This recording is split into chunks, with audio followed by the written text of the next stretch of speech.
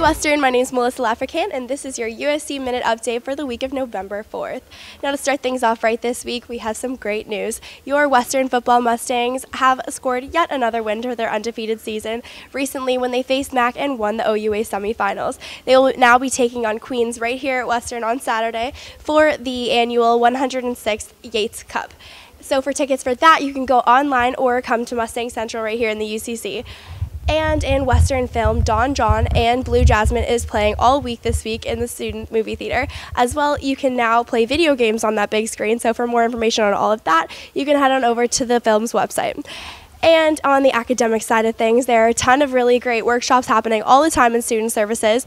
But this week in particular, there's online research skills and um, time management workshop. So for more information on those and other events, you can head on over to the Student Services Building website and you can check out their Twitter page. That's all for now, Western. I'm Melissa L'Africain, and that was your USC Minute Update. Have a happy November.